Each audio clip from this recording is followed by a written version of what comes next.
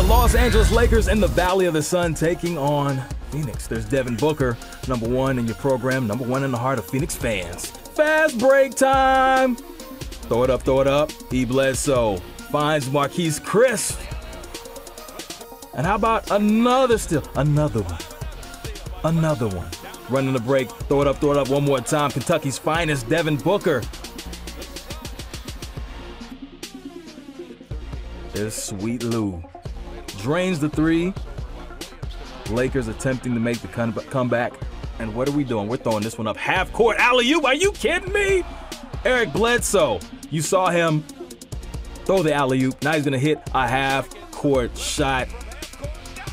Crazy. 25 points, 13 assists, 10 rebounds. His first triple double of the season. Suns up big at halftime. Bledsoe, another three. Phoenix up huge. Derrick Jones, he will be in the slam dunk competition All Star weekend. Throw it up for the young man. Go get it. Make sure you pay attention.